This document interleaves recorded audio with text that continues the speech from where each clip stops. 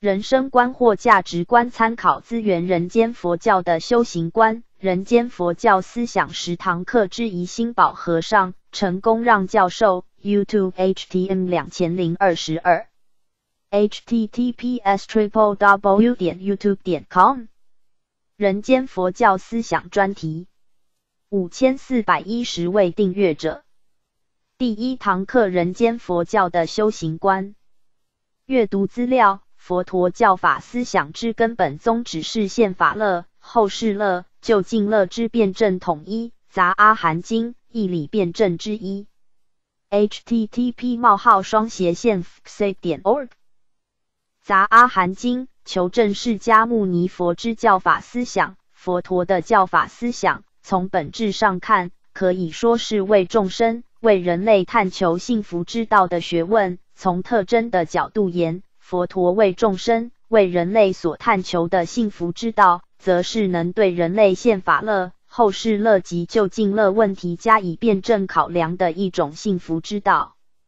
零零公尺零零 s，请听学者的对话。零二公尺零零 s，何谓修行？成功让教授。十九公尺二十五 s，修行的正确观念。心宝和尚。三十七公尺。四十 S 现法乐、后世乐、究竟乐的辩证统一成功让教授。五十三公尺二十一 S 学佛是生命最好的投资。新宝和尚。井号人间佛教思想十堂课。井号新宝和尚。井号成功让。井号修行观。井号现世乐。井号后世乐。井号究竟乐。井号佛光山人间佛教研究院字幕记录。你认识人间佛教吗？一场学者与行者的对话即将展开。你认识人间佛教吗？请听学者与行者的对话。新宝和尚、陈教授以及所有线上的朋友，大家吉祥，晚上好。今天是我们人间佛教思想十堂课的第一堂课，人间佛教的修行观。我们邀请到佛光山寺住持心宝和尚，心宝和尚的开示充满了浓浓的法味，每次聆听总是让人对佛法心向往之。接下来为大家介绍陈功让教授。陈教授目前担任上海大学道安佛学研究中心主任。同时，也是我们佛光山人间佛教研究院的荣誉教授。人间佛教是实践的宗教，修行的宗教。佛光山开山星云大师一生推动人间佛教，积极的把佛教带给大家，让人间有佛教。大师主张佛法要生活化，简单的说，佛法就在日常生活当中。修行就在每一个当下，而修行的目的无非是希望能够获得身心的安乐和解脱。如何修行获得现世安乐、来世安乐乃至就近解脱的安乐？这是我们今天人间佛教修修行观所要探讨的。首先，我们要邀请陈功让教授从理论的角度谈谈人间佛教的修行思想。我们欢迎陈教授。谢谢妙凡法师，我先分享一下这个屏幕。特别感谢佛光山人间佛教研究院妙凡法师的邀请，来参加这个人间佛教思想十堂课。今天也特别荣幸能跟我们尊敬的星宝和尚同堂来交流。我们这个课程第一次课跟观众见面的时候，大概刚刚过完牛年春节的元宵。但是呢，我们大家都还会沉浸在浓浓的牛年的春节情绪当中。我非常的感谢各位朋友来聆听和观看我们这一堂课，也祝福所有的朋友们在新的一年有新的梦想，心想事成。妙凡法师邀请我在我这一部分，主要是从佛学的角度来谈一谈我们对人间佛教的修行观的看法。我想主要谈以下一些问题。第一个问题，我想说明，从我的研究和理解，我觉得我们佛教的传统是非常深入的、高度的关注人生修行的问题。人生修持的问题，那什么是修持？修持简单的讲，就是我们把佛教的思想、智慧、价值和认识，能够体之于我们个人的身心，验之于我们个人的生活，并且要让我们这样的一个行持，成为我们个人人生密不可分和有本质意义的一部分。这就是佛教所谓的修持。我们大家知道。佛教是在公元前年的中叶发源于古代的印度。我们的佛教从一开始就高度的关注人生的苦乐和解脱的问题，所以佛教可以说一直以来就具有重视个人修行的这么一种特殊的精神。我们中华文化也同样高度关注人生行持的问题。我们先秦时候《礼记》里面非常有名的《中庸》。开头就讲，天命之谓性，率性之谓道，修道之谓教。这基本上是把圣人之教诠释为修道、修行之道。所以说，中华文化传统是同样高度的关注和重视人生的修持问题，所以受到了佛教的传统和中华文化传统双面的影响。所以，我们中国的佛教特别重视修持。我经常听到有朋友在议论：“你最近干什么去了？”我最近去学佛教去了。哦，你去修行去了。这样的对话我常常听到。这说明什么呢？这说明在很多人心目中，特别是很多佛教徒的心目中，他基本上把信佛、学佛理解为。就是进行一种修持，所以我要想从佛学的角度表达的第一个意思，就是我们的佛教有高度重视人生修持、人生修行的传统。就像我们要凡法师佛光山人间佛教研究院设计这一个人间佛教十堂课，但是我没有想到他第一堂课就要讲修持观、修行观。这说明了人间佛教同样也是继承了佛教重视修行的优良的传统。这是我要跟大家表达的第一个看法。那么第二个看法，我想我们要怎么样理解佛教的修行？我觉得要从内容上来理解佛教的修持。我觉得我们可以包括要从狭义的层面来理解佛教的修持。也要从广义的层面来理解佛教的修持。那么，什么是狭义的层面来理解佛教的修持？在原始佛教和部派佛教所谓的修持，狭义意义上的修持，其实就是戒定慧三学中的定学。在大乘佛教，我们的佛教从原始佛教、部派佛教。发展到大乘佛教，大乘佛教讲的六度四摄里面的第五度净律波罗蜜多，就是大乘佛教讲的修持，这是狭义的。从广义上来讲，原始佛教的戒定慧三学都是修持，大乘佛教的六度四次摄也都是修持，所以我们要把狭义的和广义的修持。都要理解为是佛教所提倡的修行，因为如果我们只是重视狭义上的修持，而不重视广义上的佛教讲的修行，久而久之法久则生弊，我们就有可能把佛教的修行理解的非常偏狭。但是如果我们只是重视广义上的佛教的修持，而不能落实到比较专门意义上的佛教的修持。打个比方，就好比是银行的出纳员，他天天替别人数钱，但是跟他自己没有关系，所以这叫失之于散了。这是我要讲的第二个意思。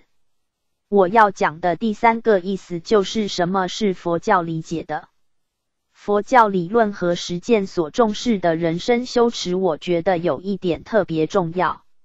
佛教所理解的修持，一定是在正法的光明引导下的修持，是在正法的智慧所浇灌下的修持。在这，我想到了星云大师，过去曾经在一篇讲演里，把我们的佛教分成了正信、迷信、不信和邪信。这四个层次。他老人家曾经讲：邪信不如不信，不信不如迷信，迷信不如正信。我最近也体会大师这个话，我非常同意大师这个话。我尝试着把佛教的信仰区分为超信、正信、迷信和邪信这四个层次，所以我想在大师所提供的这样一个讲法里。非常强调的就是用正信的精神，也就是正法的光明、正法的智慧，来理解佛教的人生修持。这一点在早期，从释迦牟尼佛就特别的重视。我们看阿含经典，就知道释迦牟尼佛曾经对他那个时代里婆罗门教和外道们很多的修持手法，比方说一个人站在地上。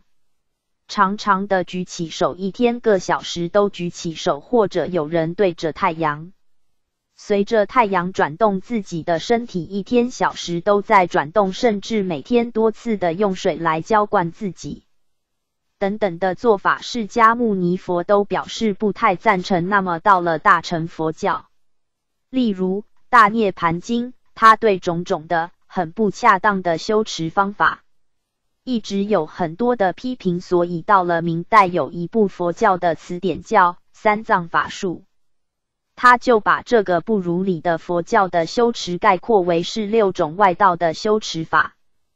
比方自饿，天天饿肚子，甚至有人说这是功夫，我也可以一个月不吃饭，两个月不吃饭。头冤就把自己放到冰冷的寒水里面去浸泡复活。那就是把自己放到熊熊的烈火，或者烈火燃烧以后的灰烬里来自烤，还有一年四季都在野外静坐，还有不说话，一天不说话，一个月不说话，甚至一年不说话，多少年不说话，最后甚至把我们认为是狗牛。比方牛是吃草的，那我们就又过上狗和牛一类的动物的生活。用那种方式来修持，这叫六种外道。我们可以看到，从星云大师的讲法，我们一直看到释迦牟尼佛，我们看到大涅盘经，一直看到明代学佛教的法师们、学者们对佛教修持方法的这么一个概括，我们都可以看到他强调一种正法的精神。那我重点要讲最后一个意思，就是我觉得我们现在讲的人间佛教，现代人间佛教要追求现法乐、后世乐、就近乐的辩证的统一，追求现法乐、后世乐、就近乐的辩证的统一，应该是人间佛教的修持精神。什么是现法乐呢？现法的乐，简单的讲，就是我们现世的幸福。我们古今中外的人都追求现世的幸福，现实的幸福哇！在对现世幸福的追求，在哲学上借用德国哲学家康德的一个术语，它是人类普遍的一个必然的要求。我们中国古代先秦的一部古书《尚书洪范》中就提出五福的概念，我们追求长寿。我们追求富贵，我们追求家庭平安和谐，我们追求道德，我们追求善始善终，这些都是五福。五福所体现的内容就是我们的宪法了。那么，什么是后世乐呢？后世乐就是指我们人类总是以某种方式来期待生命在现世之后会以某种方式延续，并且我们延续的后世生命。同样期待幸福这样的要求，我们就叫后世乐。古代印度的婆罗门教已经有很精致的轮回学说，反映了人类对后世的存在及后世乐的一种设想。古代希伯来的宗教有明确的灵魂理论，有灵肉二元的结构，并且有末日审判的学说，它也是典型的后世存在。及后世快乐的一种文化意识。我们的佛教一方面讲世俗地，一方面讲圣义地。在世俗地的意义上讲，也就是在随顺世俗的意义上讲，佛教重拾了雅利安先民的轮回说，从圣义地的角度讲，佛教主张非断非常，所以佛法也贡献了一种我们对后世的存在，以及后世的快乐、后世幸福的一种理解方式。我们举婆罗门教、希伯来宗教和佛教就可以看出，甚至我们还可以说中华文明追求不朽。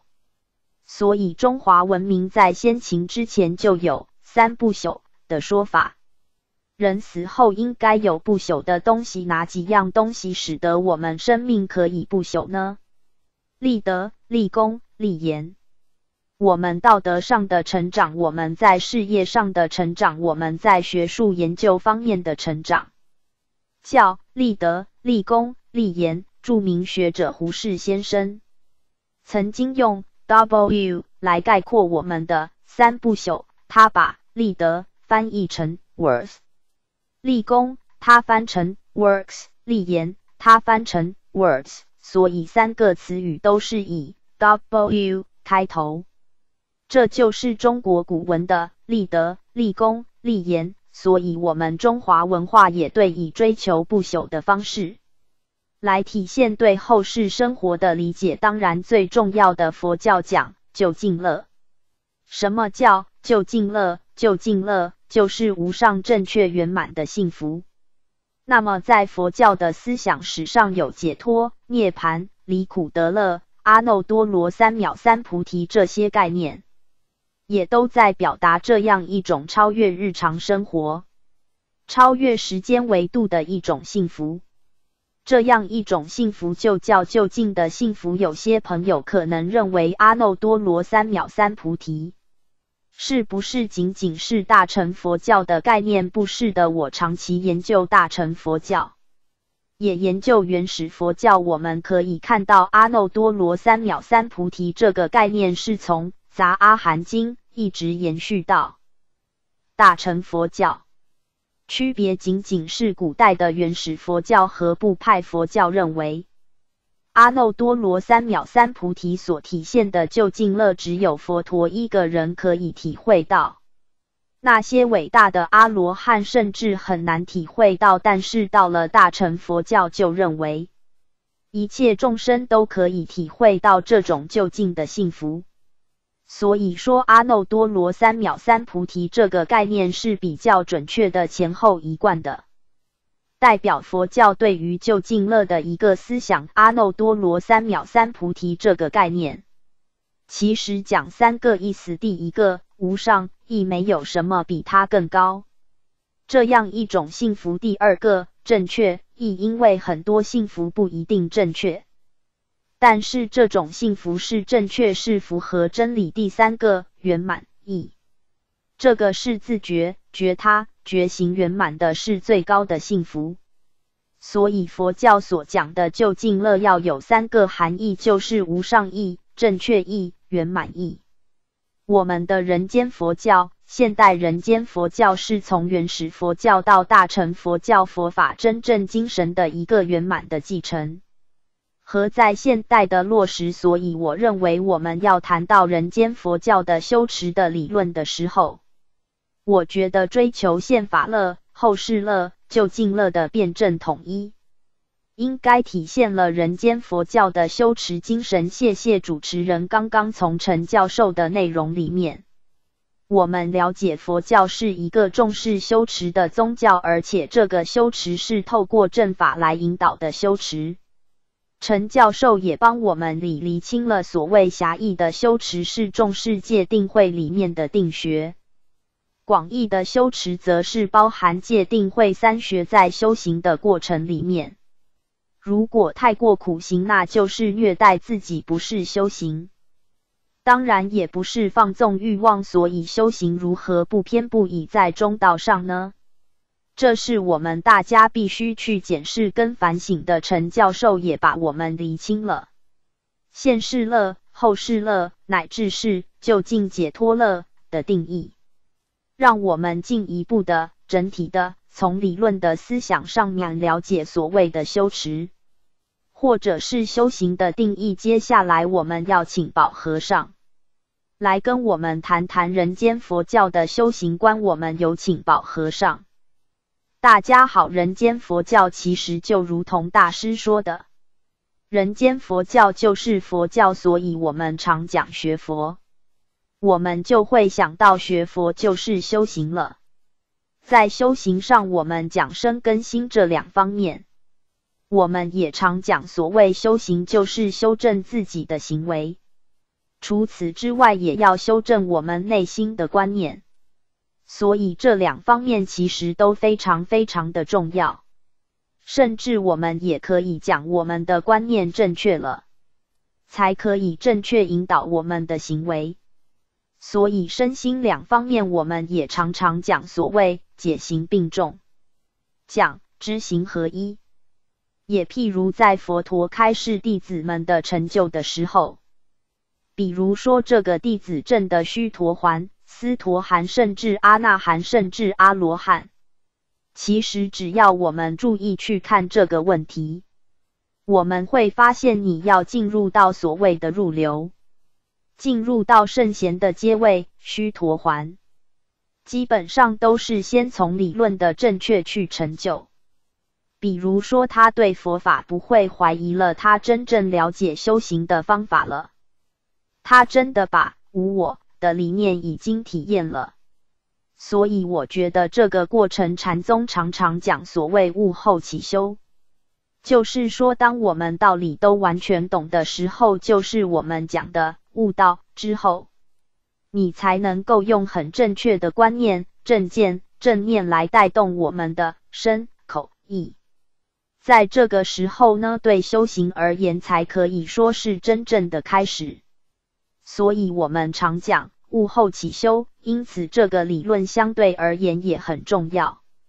因为你理论不懂，你的修行还是有问题。所以我们常常讲盲修瞎练，甚至浪费很多时间。就像陈教授还有讲到，当初很多其他的宗教所做的种种苦行，其实对解脱一点帮助都没有。只是增加自己身体的受苦，也没有什么意义。所以应该讲，在修行之前，我们先要把理论了解。以佛陀当时而言，基本上就是通过修行来灭除我们的烦恼。我们常讲要灭除老病死，让老病死不要成为我们的痛苦，不要成为我们的烦恼。这一点其实与佛陀舍弃王位去修行。我觉得佛陀看到人世间确实有这个实际的状况。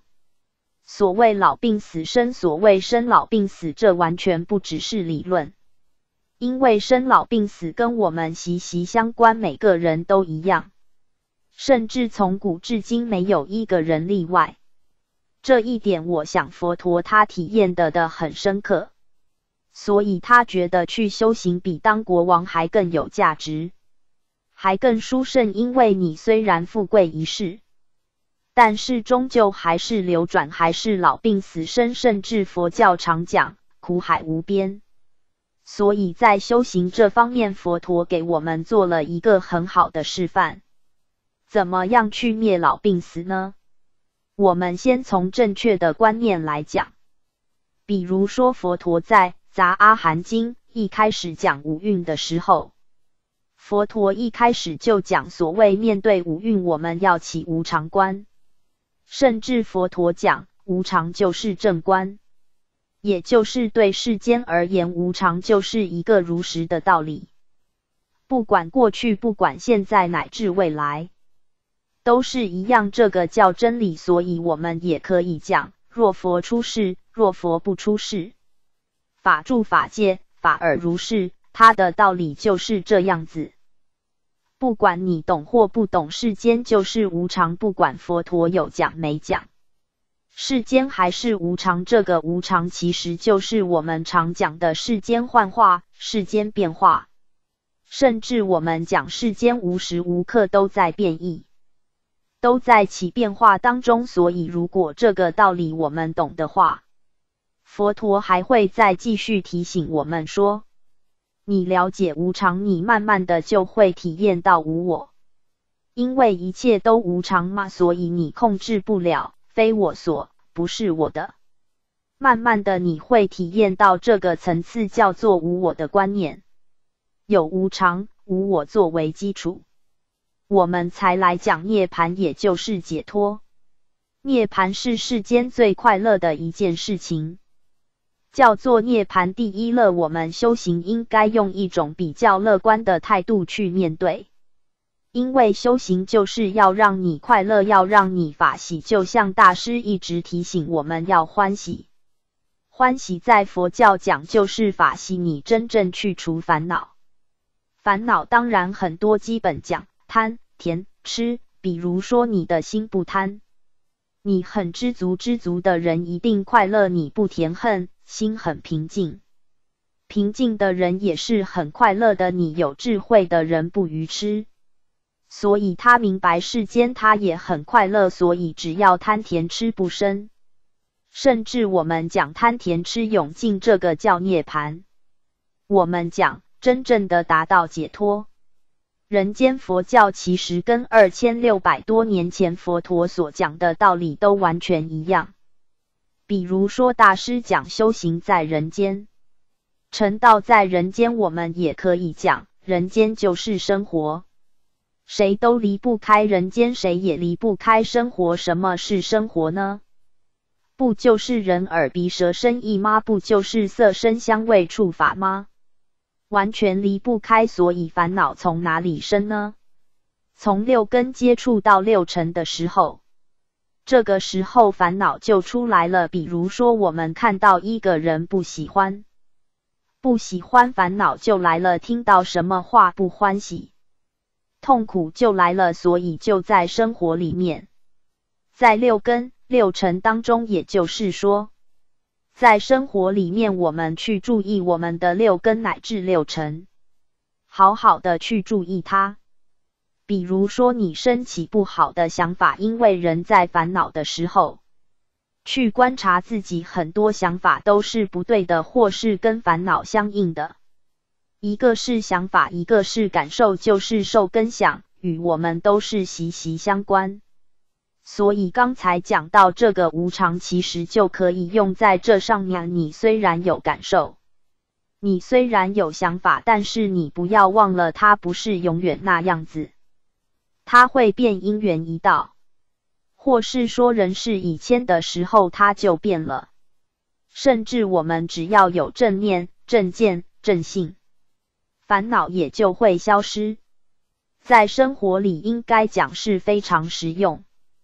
佛陀除了讲无常、无我，慢慢的我们就把无常、无我看成是一种对空的体验，而这个空就是要在生活里去体验。所以我们常讲，你悟到了，你悟到了空性，你知道空是无常性，烦恼升起的时候，你就知道，它现在虽然是这样，等一下可能又会改变。甚至如同大师讲的，无常有积极性，就是会越变越好。所以，我们就要让心中记住很多很多的佛法。比如说，你有慈悲，你会越变越好；你有忍辱，你真的会越变越好；你有精进，你有禅定，你有智慧，我们会越来越好。所以，无常其实有积极性，再加上对无我有深刻认知的话。我想在现世来讲，以佛陀的教义来说，现世你可以解脱。我想这个就是佛法，只要你一学佛，基本上你就会快乐。所以你今天快乐，让烦恼不再升起，很自然的，你明天还是快乐。以现世来讲，我觉得佛法带给我们很大很大的正向的力量。所以今世快乐，这种快乐是会延续到后世，甚至明天。因为我觉得学佛有一点很重要，就是我们要肯定生命是轮转、是轮回的。所以在部派佛教的说一切有部，就直接讲三世实有，法体恒常。只要我们肯定我们有未来，相信我们每个人都会很努力、很努力。不管是布施，不管是精进、禅定、智慧，还是忍辱，一定会很努力，因为它跟你的未来有关系，系甚至跟你的现在有关系。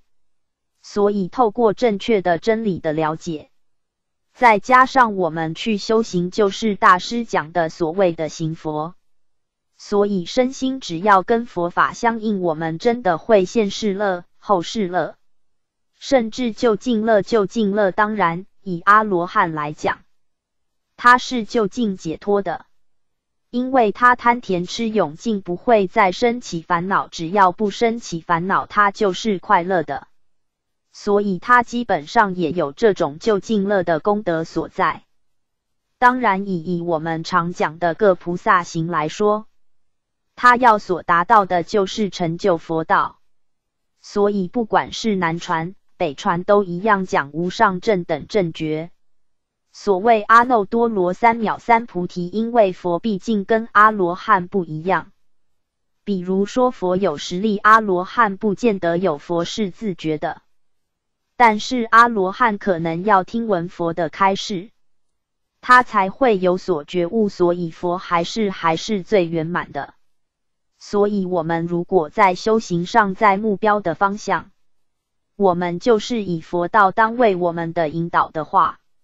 我想我们会非常非常的努力，在不管是生活，不管在人与人、人与事之间，都尽量用佛法去亲近我们讲精进办道。谢谢大家，谢谢好，谢谢宝和尚。宝和尚刚刚的内容，我们大概可以分成三个重点。第一个，宝和尚提醒我们必须建立正确的观念。修行包含了行为，也包含了观念的建立。有好的观念，才能够引导行为，行为来落实观念，也就是我们常说的解行并重，知行合一。第二个，我们必须要正思维，了解烦恼的起源，乃至如何来超越、解脱烦恼。宝和尚从无常无我引导我们去做思考。进入所谓的修行第一乐涅盘，了解这些观念之后，进行内化跟思维。接下来最重要的是，如何在生活里面落实修行，也就是在我们的六根面对六尘时，如何时时关照无常、无我、空的道理。在佛法的帮助之下，在无常流动变化的世间，这一切都会都因为我们的慈悲喜舍舍。与人为善，未来一定会越来越好。我们谢谢宝和尚。接下来我要请陈教授来跟我们谈谈，如何在重视现世乐的同时，也能够完成后世乐和就近乐的解脱。我们有请陈教授。刚才听我们宝和尚讲，大师所倡导的人间佛教，实际上是就是佛教，这一点非常的好。非常符合现代人间佛教的基本精神。我们讲到了修持观，讲到人间佛教的修持观，它要跟佛教的整体精神，尤其是要跟佛教的价值观要有一个整合，那就是我们这一讲所讲到现法乐、后世乐与就近乐的辩证的统一。这样一个问题，就是要表达我们的现代人间佛教跟传统佛教之间的关系。现代人间佛教跟传统佛教并不是两回事，两样东西，不是这样的。这就是大师讲的，现在人间佛教就是佛教，也就是刚才宝和尚讲的这样一个理念：现法乐和后世乐与就近乐的辩证统一的想法理念。是我前几年写作的一篇文章，在这文章里阐发的。理解这个问题有一定的难度，如果我们的思维方式不是太正确的话，很有可能对这样一个课题理念会产生误会。我们在这里要做一个澄清。第一个，我们之所以强调宪法乐、后世乐和就近乐。都是佛教的价值观里一个重要的部分。我们从学理上按照我们刚才的分析，我们已经可以看到，现法乐就是现在式的幸福，我们能够放弃现在式的幸福，而追求后世的幸福和追求就近的幸福，恐怕有时候我们一个人也许是可以做到，但是从整个人类的角度，宪法乐一定是非常合理的、非常必要的部分。同样，后世乐我们能够舍弃掉后世乐，来谈佛教的价值，谈佛教的修持吗？这也是很困难。因为如果否弃掉后世乐，在佛教来看就是一种断灭外道。更何况就近乐，就近乐是佛教最终的目标，佛教价值观里最重的地方。所以，我们在这里第一个意思就谈到宪法乐、后世乐与就近乐的辩证的统一的时候，首先要强调的就是这三种幸福都是我们人类的幸福里面必不可少的部分。所以说，它也是人间佛教应该倡导的，对于三者都有所倡导。所以，我们讨论人间佛教的价值，只去讨论人间佛教的修持观的时候，首先不要把宪法乐、后世乐和就近乐中的任何一个幸福简单的加以抛弃。这是我的第一个意思。第二个意思呢，宪法乐、后世乐、就近乐。代表了三种方向有所不同的价值，而这三种方向有所不同的价值，又恰恰是一个完整的人，一个完整的个体，一个完整的人类，他的人生价值的一种整合。所以在这里面，我们最好是三种价值的有机整合，才构成人类价值的整体。所以，我们不要轻易的对这三种幸福有所偏废。或者有所宣制，比方我们可能会说宪法乐最重要，后世乐、就近乐不是太重要，这并不符合佛教。如果我们要说后世乐最重要，宪法乐和就近乐并不太重要，这也是不符合佛教。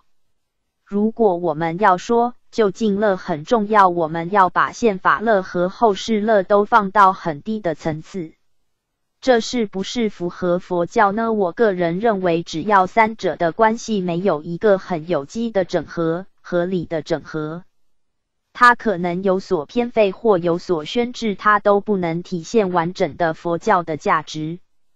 第三点，我想宪法乐和后世乐是我们人类幸福的基础，而就近乐是人类幸福的提升。那么，看看什么叫基础，什么叫提升？基础。只有参考提升的时候，它才是基础。同样的道理，提升如果不是针对基础，也无所谓提升。所以说，基础和提升之间应该有所关联，又有所区别。这是我要谈的第三个意思。第四个意思，我们现在提出宪法乐、后世乐、就近乐的辩证统一的问题。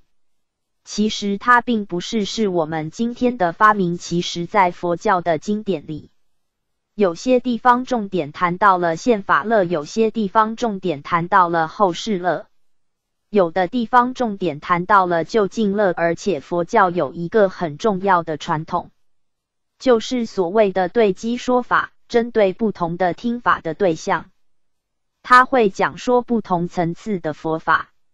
后来的佛教。后世的佛教随着佛教逐渐逐渐离开了释迦牟尼佛的时代，法久则生闭。后来的人们往往对一个统一的圆满的佛法内容，他会有所偏重。所以，我们回到原始佛教，比方说我们在原始佛教《杂阿含经》里面就可以看到，释迦牟尼佛非常认真的回答听众。什么是宪法的安？什么是宪法乐？如何实现宪法安？如何实现宪法乐？所谓的宪法安、宪法乐，就是我们今天讲的宪法乐。释迦牟尼佛提出四个原则，一个原则就是要有具足方便。所谓具足方便，就是要有正当的职业，并且在正当的职业里要精益求精的进行训练。这是一个现世乐的重要原则。第二个，释迦牟尼佛讲，要具足保护，就是我们不仅要有挣钱的正当人生的这样一种能力，而且我们要有保护我们的财富、保护我们人生的能力，这叫守护具足。第三个，释迦牟尼佛讲要善知识具足，我们要想保证现世的幸福，我们要有良师益友，要有在知识上、在道德上、在真理上能够提升我们的朋友。第四个，释迦牟尼佛说还要有正命。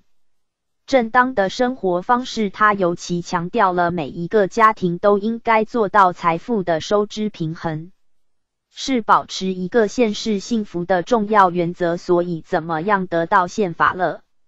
释迦牟尼佛提出了四个原则，怎么样得到后世乐呢？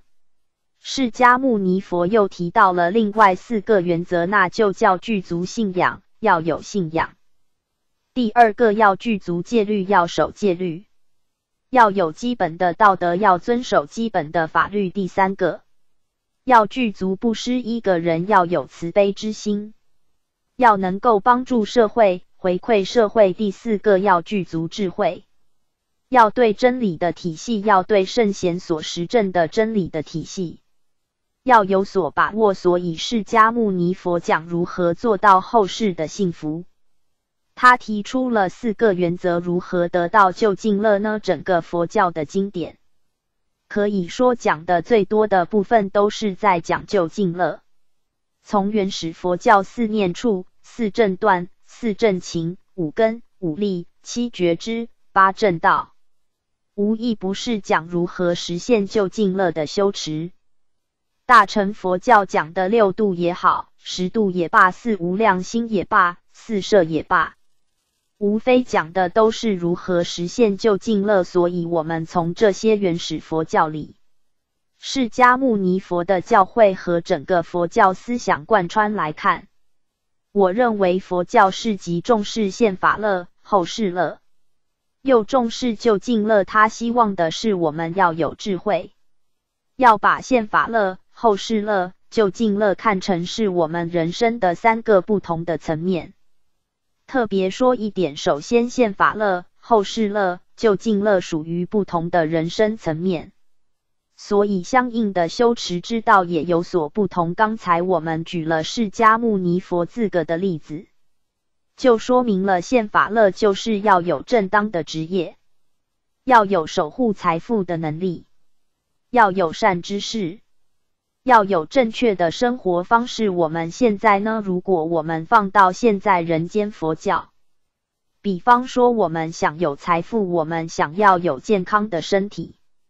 我记得星云大师曾经在一个讲座里讲过：财富有财富的因果，健康有健康的因果。其实大师这个讲法。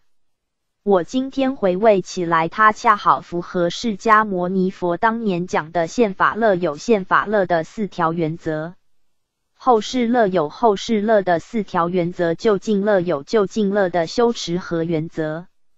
所以这个由因到果，现在借用为实学的术语，这叫因缘。所以现法乐有现法乐相应的修持方法。后世乐有后世乐相应的修持方法，就近乐有就近乐相应的修持方法。我们不能把因果之间错乱。比方说，我们学佛了，为什么我家里的财富不增加呀？那你是把因果弄错了。财富属于宪法乐，宪法乐有宪法乐的原则。第二条，我们这样说又不意味着宪法乐、后世乐和就近乐。是完全脱离不是的宪法乐、后世乐和就近乐，它存在着密切的关系。它是人生里三个有密切关系的我们人生的层面。所以我们在宪法乐中的修持，有可能会增进我们的后世乐，也有可能增进我们的就近乐。同样的道理，我们面对就近乐的修持。也可能会促进我们的宪法乐，会促进我们的后世乐。借用为实学的原则，这就叫增上缘。所以，我们为就近乐而修持，我们有可能会带来我们现世乐和后世乐的提升，这是完全可能的。这叫增上缘，所以我们不能弄错了。增上缘，如果我们弄错了，违背了它，它很可能起到的不是积极的效果，而是反面的效果，这也是有可能。比方说，我们刚才举的例子，正法原则下的修持，假定我们强调自恶，这叫自恶外道。我们一个月不吃饭，两个月不吃饭，甚至半年不吃饭。我们有可能做到，这是有功夫的，但是很有可能这样的修持，极有可能最后让我们的色身失去健康。而一旦我们的色身失去健康以后，我们要追求就近乐就没有了依托。所以这种不正确的修持，有可能会起到反面的增上。这就是现法乐、后世乐、就近乐的统一。刚才我们主持人妙凡法师的提问，怎么样可以适合现法乐的修持，又能够对我们的就近乐会非常有帮助呢？这就是我大体的一个思考和回答。谢谢大家，谢谢陈教授。陈教授提到，其实所谓的现法乐、后世乐、就近乐是一体三面，互为因果。我想，我们每一个人今天修行的目的，无非就是为了幸福跟安乐。那么，现法乐是人类幸福的基础，同时也是后世乐、就近乐的基础。就近乐则是现世乐和后世乐的提升，所以这三者非常的重要，互相都必须关照到。接下来，我们请宝和尚也就这个题目来跟我们谈谈。怎么样在现世乐的同时，也照顾后世乐跟就近乐？我们有请宝和尚。谢谢佛教讲三季，过去、现在还有未来，这个可以说是时间上的一种相续性。虽然表面上看起来过去跟现在不一样，但是过去跟现在有一个相续性，甚至我们今生所做的一切。又继续影响无限的未来，所以过去、现在、未来这三者的关系，我常常用昨天、今天跟明天来做譬喻，这样应该大家会比较容易了解，因为这个跟我们生活息息相关。当然，我们学佛以就近义来说，就是要法喜、要安乐，甚至我们讲解脱。甚至讲成就佛道，这是非常快乐的一件事情。而这种快乐，我们称为法喜。所以佛法里面常说法喜充满，真的很快乐的意思。这中间当然要具备些条件，就是前面讲过的，不要升起烦恼。所以在佛陀的时代，也尽量要把贪、甜、吃给去掉。你不去掉的话，它一样会影响无限的未来。所以跟我们生命息息相关的，在佛教讲十二因缘。十二因缘中过去的当然已经过去了，但十二因缘也跟我们讲了一个道理，就是三世二重因果的关系。所谓过去的因，现在的果，现在的因，未来的果。十二因缘可以说。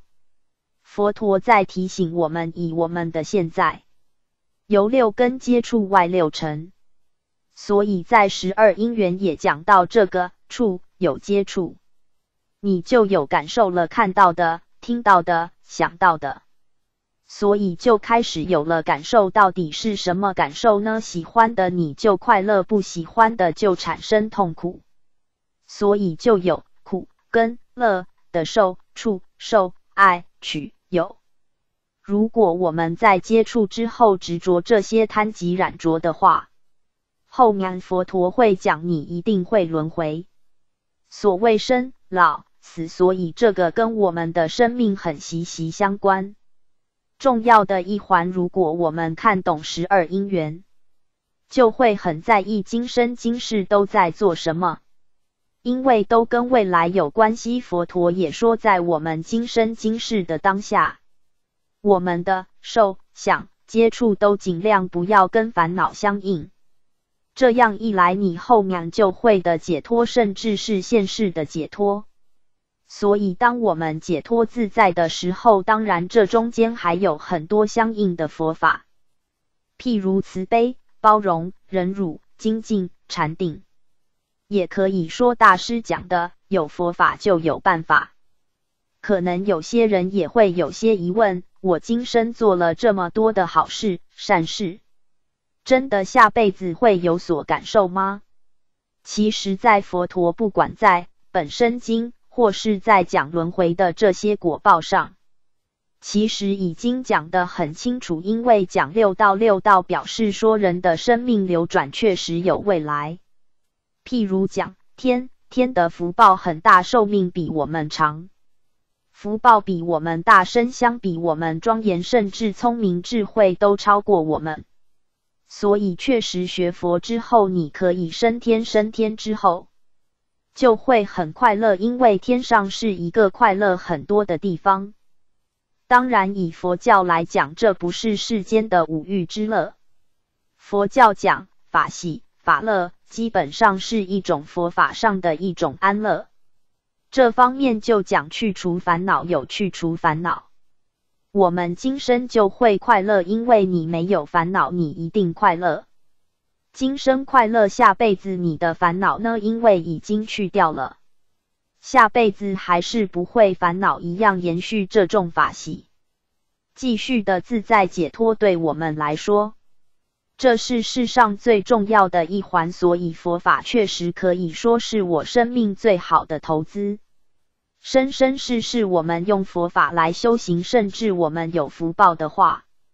也要把福报用在修行上，这样我们真的会很自在、很解脱，远离痛苦跟烦恼，这就是最好的一件事情，最快乐的一件事情。谢谢谢谢宝和尚，从十二因缘、三世两重因果来和我们探讨怎样在受、跟想的过程中，不要与烦恼相应。今天从宝和尚。陈教授的开示及讲说中，我们了解要幸福、要安乐，就要修行，就要有佛法。今天很感谢宝和尚和陈教授在线上和我们大家分享人间佛教的修行观。今天探讨的内容也将刊登在《人间佛教学报》一文上。也就是现在我手上的这一本，大家可以上研究院的网站做了解。